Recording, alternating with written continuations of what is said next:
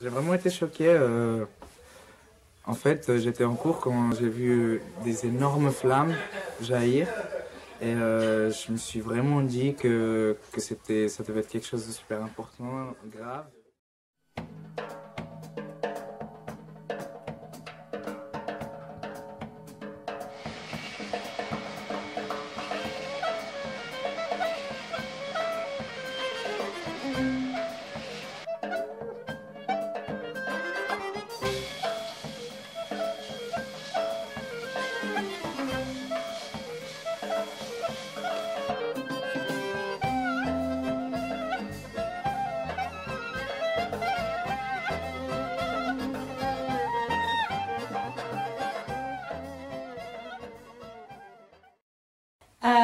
Bonjour, je m'appelle Yasmine, euh, je suis en Master 1, économie de l'énergie, et j'étais résidente à Candillac, bloc 3, chambre 264. Euh, le jour de l'incendie, en fait, je dormais, et je me suis réveillée à 10h30 par les alarmes de mon couloir. Euh, quand je me suis réveillée, je pensais pas que c'était aussi grave. Je me suis dit que c'est sûr que c'est quelqu'un qui a fumé, ou quelqu'un qui a cramé un repas, ou quelque chose comme ça. Et donc je me suis levée, j'ai ouvert ma porte et là j'ai vu une fumée noire venir vers moi et en, en 10 secondes ça a rempli tout le couloir. Je voyais ni lumière ni rien du tout, rien, plus rien. Donc ma réaction, j'ai fermé la porte et j'ai couru vers les issues de secours. En sortant, je me suis rendu compte que j'ai oublié euh, mes papiers et du coup j'ai essayé de rentrer mais c'était c'était impossible. Il y avait tellement de fumée, on voyait rien. Je, donc je suis sortie en courant, j'ai descendu les escaliers de secours et là j'entends et d'un coup j'entends tout le monde en train de crier il y a le feu, il y a le feu et donc c'est là que j'ai su que c'était vraiment grave. Je suis sortie, je suis passée devant en fait le bloc 3 c'est en deux parties. Donc moi j'étais à la deuxième partie. En passant vers ma partie, il n'y avait rien.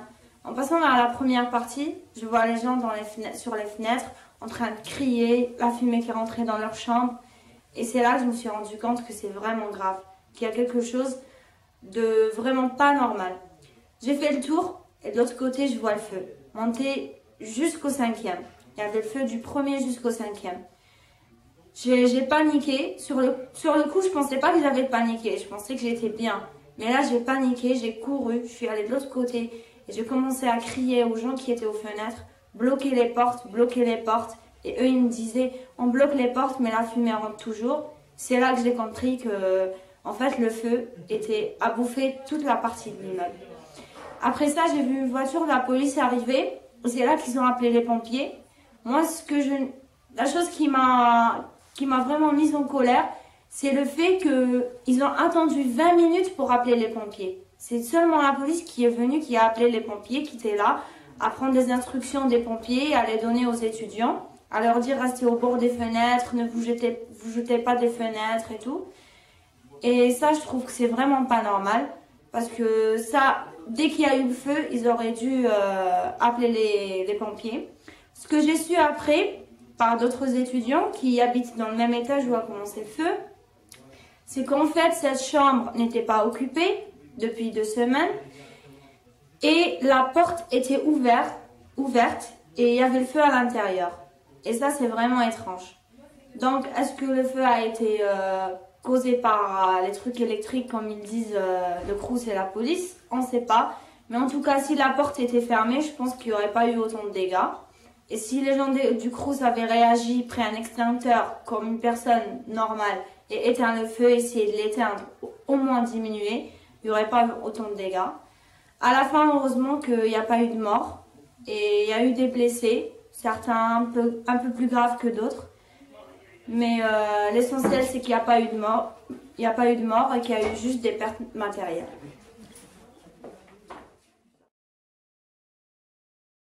Je suis Mariam Siri, euh, j'habitais à Condillac, bloc 3, euh, premier étage, chambre 28.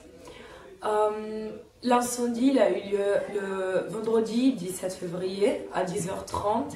Et en fait, je me rappelle pas trop, euh, c'était une journée, j'ai tout, des images floues floues et tout. Et en fait, après, je me rappelle seulement que quelqu'un de Cruz, il ils ont mis euh, dans un, une voiture, ils ont nous ramené à Rio. J'ai même pas eu trop d'explications, je me suis retrouvée ici.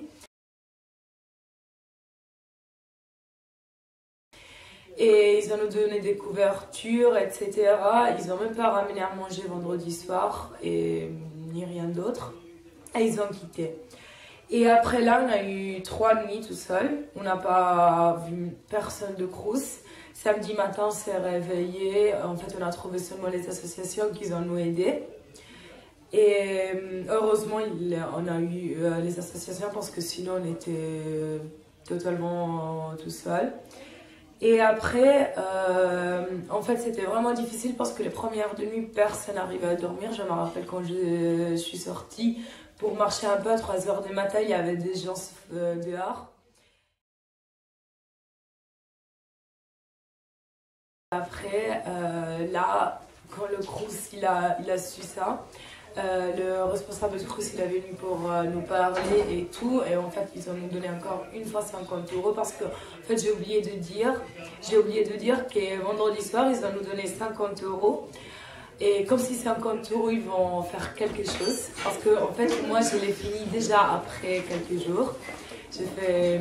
Et, et comme ça les autres gens. Et après, qu'est-ce qui s'est passé? Ils sont venus encore une fois vendre, euh, samedi, dimanche soir. Ils ont nous donné encore une fois 50 euros.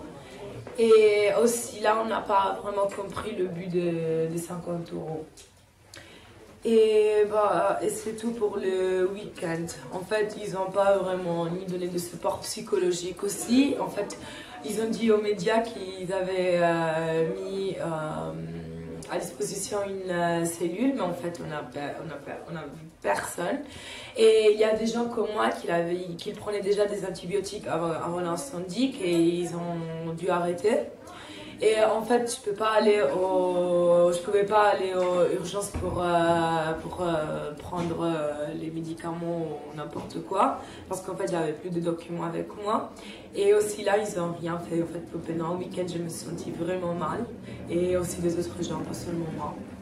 Et donc, ouais, c'était ça. C'était une ils ont pris, ils ont pris tout pas à la légère, pas vraiment très sérieusement toute la situation.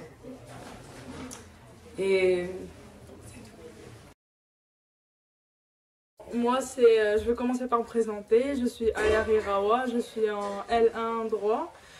Euh, le jour de l'incendie, j'ai été à l'intérieur de ma chambre aussi. Bon, je crois que ça a été pareil pour les victimes qui ont été à l'intérieur. on a été sauvés dans des cas euh, d'urgence, mais on était vraiment, ça a été vraiment dur euh, pour nous en tant qu'étudiants ou de victimes de cet incendie. Euh, moi, je voulais préciser sur le fait de, du CRUS et de leur responsabilité au niveau financier envers les étudiants. Parce que c'est vrai que dépanner un étudiant avec 50 euros, 50 euros, ça refait pas une vie. quand on est parti les voir, ils nous ont donné 50 euros. Après, les aides, en fait, ils pouvaient partir au maximum 150 euros, c'est ce que j'ai eu. Euh, quand je suis repartie pour leur demander euh, encore, puisque c'était une semaine, la bourse, il faut 15 jours encore, euh, les étudiants qui ont perdu leur papier, ils n'ont aucun moyen de s'identifier, même si les parents les envoient des, des aides financières ou quoi. Donc, quand on part les voir, ils nous disent que ben, ils n'ont rien à nous donner, que c'est plafonné, que notre dossier est en cours et tout.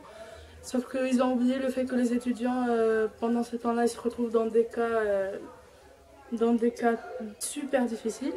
Heureusement que euh, on est, on est un peu nombreux, mais on a trouvé des personnes qui nous ont aidés. les repas sont servis à l'heure, midi, soir, même matin aussi. Donc voilà, moi je voulais préciser ça pour les, le CRUS et les assistantes sociales que chaque fois qu'un étudiant va les voir, il les renvoie juste euh, en disant cette expression-là, on vous comprend, on vous comprend, on vous comprend. Nous aussi, en tant qu'étudiants, on comprend vraiment que d'après votre... Euh, d'après ce que vous dites, on comprend aussi que vraiment vous vous en foutez. Euh, donc voilà, c'est juste pour ça.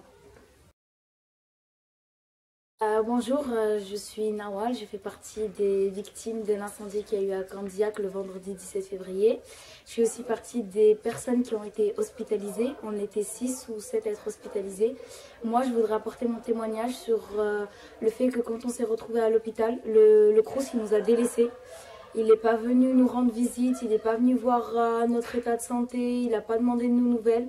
Je me suis sentie avec ma copine Rawa, on s'est senti comme délaissés, euh, on s'est démunis, on connaissait personne de, Grenoble parce qu'on n'est pas d'ici, on est de Corse. Euh, donc c'est notre première euh, année à Grenoble ici. Et du fait qu'en fait on, s'est senti, on connaissait personne, du coup les responsables de cela ils sont même pas venus savoir comment on allait, notre état de santé, ils nous ont vraiment délaissés à l'hôpital. Euh, on, avait du mal à dormir, on a demandé des calmants au médecin, mais c'était impossible, on faisait des cauchemars. Et euh, c'est jusqu'au matin, quand on a eu un entretien avec une psychologue qui a contacté euh, une personne du Crous, il fallait que ce soit une psychologue qui intervienne, qui les appelle, qui les contacte pour venir, venir nous chercher.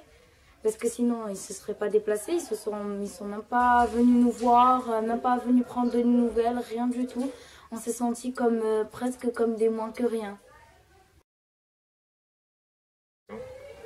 Euh, je m'appelle Elie, Elie Mbebaya, je suis euh, étudiant en L1, chimie, biochimie. Et j'étais résident dans la résidence Condillac.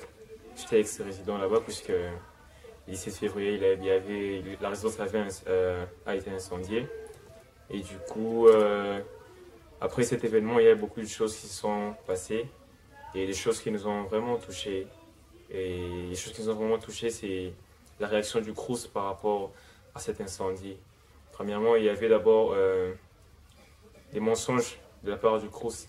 Parce qu'au début, le Crous nous a, eu à nous réloger, à nous donner des, premiers kits, des, premiers euh, trucs de nécessité, mais après, ils, nous avaient carrément délaissés, on était restés seuls. Et c'était les associations qui étaient venues, qui nous ont soutenus, qui nous ont, qui nous ont aidés à surmonter cette épreuve.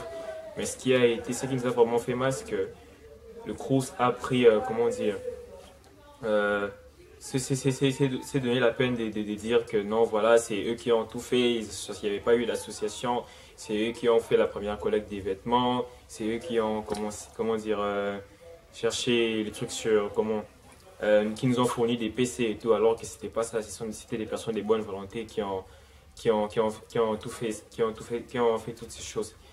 Et puis, euh, des deux, il y a aussi, euh, voilà, pour l'amiante dans les bâtiments. On a eu d'abord à, demander au directeur du CRUS s'il y avait de l'amiante dans les bâtiments et il nous avait répondu non. Et le lendemain, on a eu à voir qu'il y avait une société des, des amiantages dans les bâtiments, alors que non, on savait que les bâtiments euh, ne contenait pas de l'amiante. Donc, d'un côté, le, Crous nous a exposé nos vies en danger, puisque euh, dès le premier jour, le jour de l'incendie, on aurait dû isoler les bâtiments, mais cela n'a pas été fait. Donc, du coup, ils ont mis aussi l'environnement en danger. Donc, c'est un peu ça que moi je peux. C'est un peu ça que moi je peux parler. Bonjour, je m'appelle Seina Bounian, j'ai été sinistrée dans, de Condiac. Je suis sinistrée de Condiac et j'habitais à la chambre 390.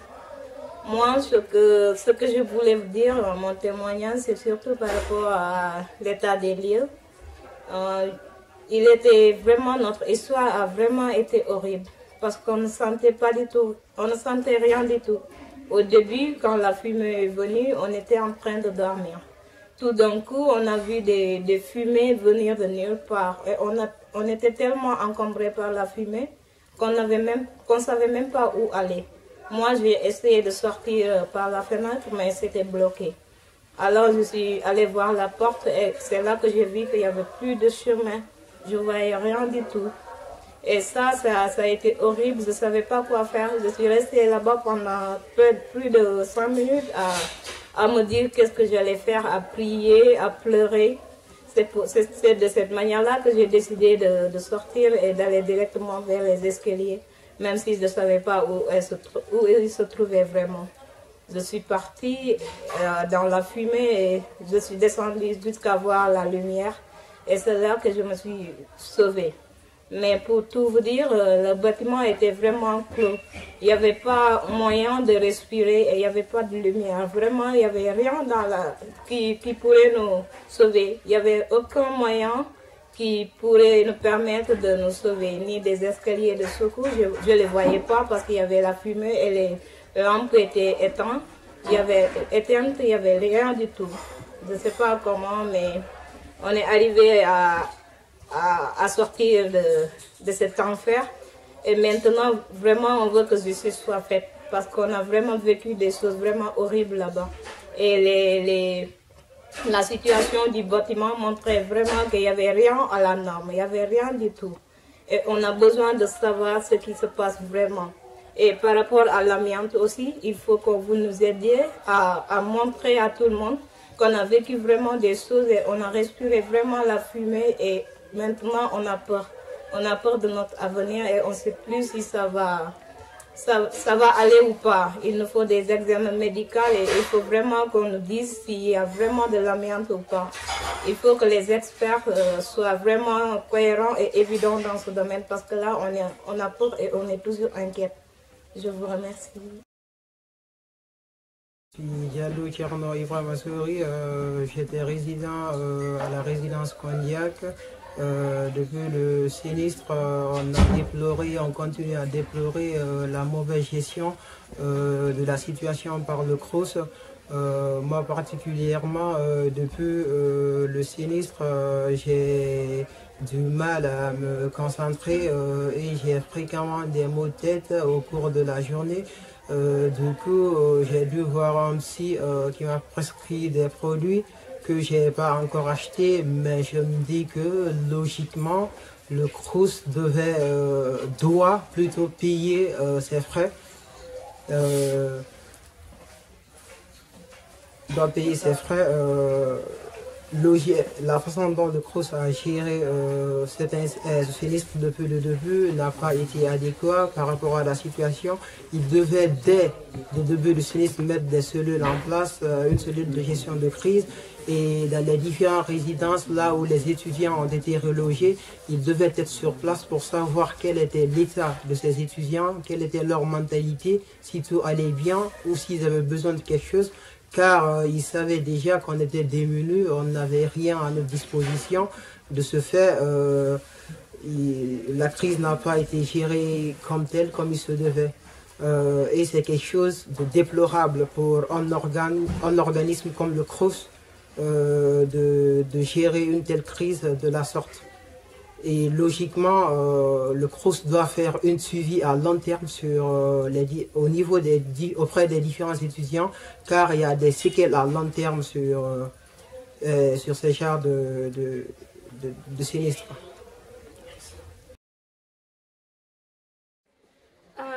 en fait, je voulais dire que même si l'accident s'est révélé, enfin l'incendie s'est révélé un accident, c'était un problème technique, disons électrique, euh, le Crous reste responsable pour moi et il aurait dû euh, faire attention, prendre plus de précautions car le Candiac, la résidence tout entière, héberge à 490 chambres.